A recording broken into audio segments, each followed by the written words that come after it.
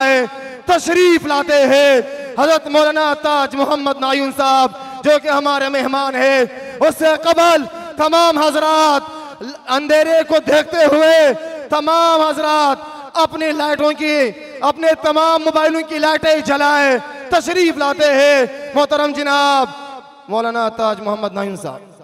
बिस्मिल्लाहिर्रहमानिर्रहीम। इन्ना नहनु नज़्ज़लना ज़िक्र व इन्ना लहू लहाफ़िज़ून। सदक़ल्लाहुल अज़ीम काबिल एहतराम कराम मुअज़्ज़ज़ दोस्तों, स्वीडन में दोबारा कुरान पाक जलाकर खरबों मुसलमानों की दिल को दुख पहुँचाया है। पूरे आलम इस्लाम में दुख की लहर दौड़ गई है। ये कुरान पाक से मोहब्बत है, उसकी दलील है कि हर मुल्क में मुसलमान एहतजाज कर रहे हैं।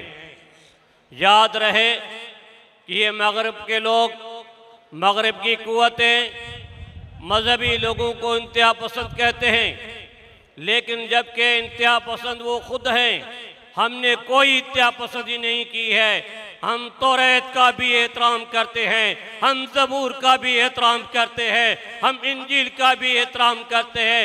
एक लाख चौबीस हज़ार अम्बिया कराम आए, हम उन सब का एहतराम करते हैं। हम तुम्हारे तरफ़ तंग नज़र नहीं है, हम वसी कल्ब है, हमारा ईमान है, जो कुरान की तोहिन करे, जो तोरात की तोहिन करे, जो जबूर की तोहिन करे, जो इंजील की तोहिन करे, उन सब का जुर्म बराबर है। जैसे कोई हमारे पैगंबर इस्लाम की तोहिन करे, इस तरीके से किसी भी नबी की तोहिन करे, हम उसको भी वैसा ही मुजरम समझते हैं। तो मेरे दोस्तों, याद रखो, जो कायद जमीयत मौलाना फजल रहमान साहब हुक्म करेगा, इंशाल्लाह आप तैयार हो ना? तैयार हो? एक में आपको, एक में आपको खुशखबरी सुनाता हूँ। कि अल्लाह ने बैतुल्लाह, रसूलुल्लाह, कलामुल्लाह तीन चीज़ों की नस्बत अपने तरफ़ की है। बैतुल्लाह, अल्लाह का घर, रसूलुल्लाह, अल्लाह का रसूल और कलामुल्लाह, अल्लाह का कलाम। बैतुल्लाह की हिफाजत अल्लाह ने छोटे छोटे पर्दों से कराई। रसूलुल्लाह सल्लल्लाहु अलैहि वसल्लम की हिफाजत गार के अंदर एक बकरी ने जाली लगाई, कमज़ोर से। अल्लाह ताला ने हिफाजत कराई।